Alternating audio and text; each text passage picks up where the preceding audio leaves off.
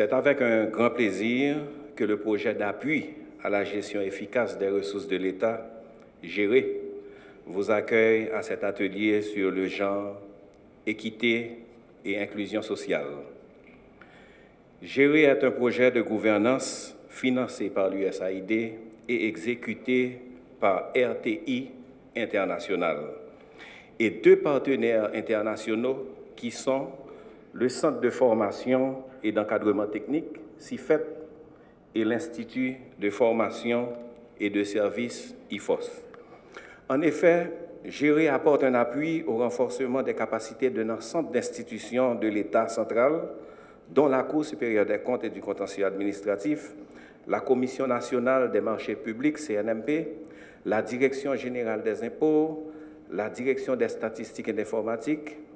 du ministère de l'économie et des finances, le ministère de l'Intérieur et des collectivités territoriales.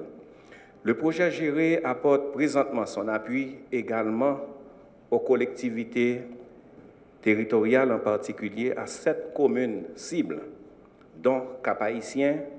Pillon et Saint-Raphaël dans le nord, Caracol et Wanamet dans le nord-est, Carrefour et Tabar dans le département de l'Ouest. Cet appui concerne spécifiquement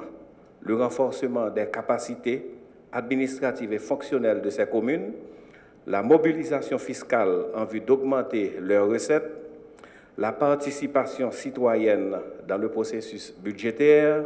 la définition des priorités communales de développement, l'amélioration de la fourniture et l'accessibilité des services à toute la population en prenant en compte les besoins spécifiques des groupes marginalisés et vulnérables, en particulier les femmes, les jeunes, les personnes handicapées et à mobilité réduite, ainsi que d'autres groupes discriminés dans le pays. Mesdames, Messieurs,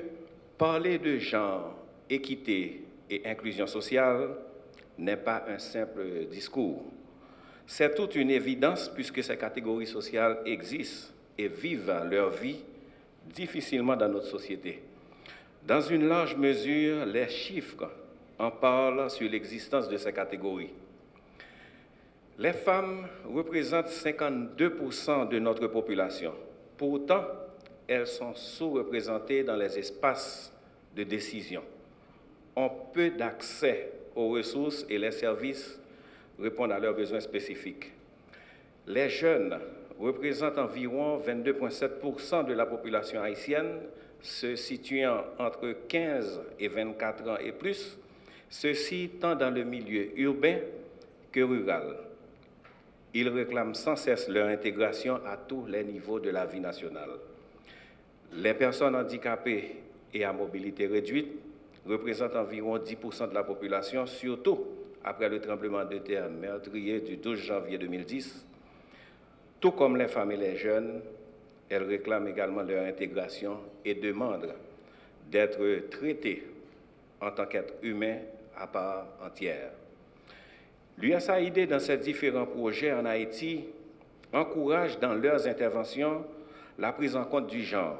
de l'équité et de l'inclusion sociale, notamment dans les secteurs de la santé, l'éducation et l'agriculture. Dans cette logique, le projet géré a donc fait de l'approche genre, équité et inclusion sociale une composante stratégique et transversale à tous ses objectifs et résultats, ainsi qu'à toutes ses activités de renforcement des capacités des institutions du gouvernement et des communes cibles du projet. C'est dans ce contexte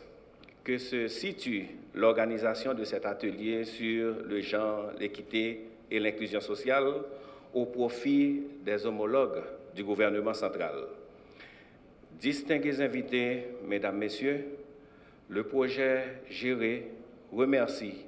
les homologues du gouvernement central qui ont manifesté leur intérêt pour la thématique de cet atelier, en particulier le ministre de l'Environnement ici présent,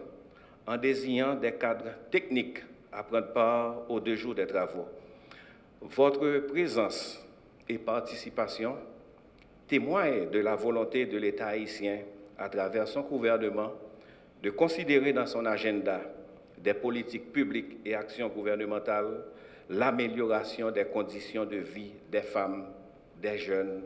des personnes handicapées et à mobilité réduite. En effet, la tenue de cet atelier est d'une grande portée pour l'État haïtien de par ses engagements internationaux en faveur de ces catégories, notamment la Convention sur l'élimination de toutes les formes de discrimination à l'égard des femmes, la Déclaration universelle des droits de l'homme, qui est applicable aux jeunes également, la Convention relative aux droits des personnes handicapées et son protocole facultatif, l'agenda 2030 et les objectifs de développement durable, ODD, dont six des 17 objectifs visent à agir sur les inégalités de genre, à promouvoir l'équité et l'inclusion sociale. Ainsi, la prise en compte de l'approche genre, équité et inclusion sociale dans la définition des orientations et des politiques, dans la planification et la mise en œuvre des actions par les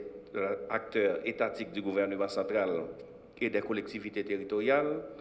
permettra à l'État haïtien de respecter ses engagements internationaux en faveur des groupes vulnérables et parvenir ainsi à améliorer les conditions de vie et favoriser l'épanouissement de tous les citoyens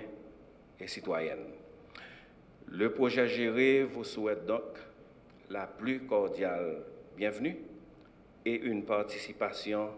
active à l'atelier sur le genre, l'équité et l'inclusion sociale.